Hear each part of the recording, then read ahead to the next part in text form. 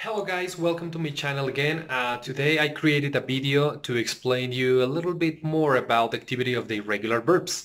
So pay attention to the video, to the explanation, and at the end we have two examples of 8th grade students.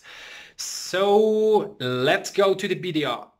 Imagine that you have your 80 verbs uh, organized by families. Okay, so we have in this example only two.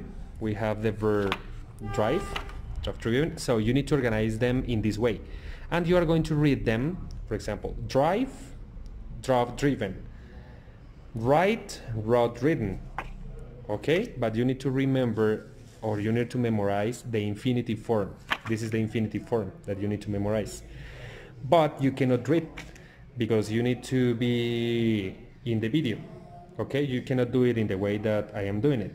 Okay, because you can read with a paper.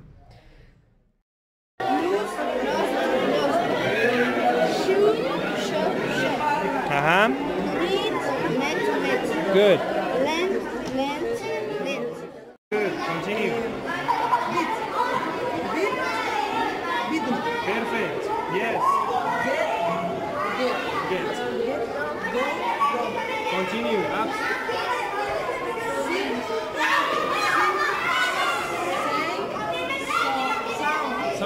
Sing. Good.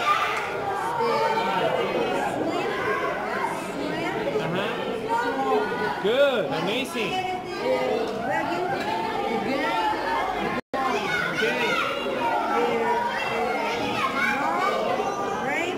Perfect. Wow, amazing.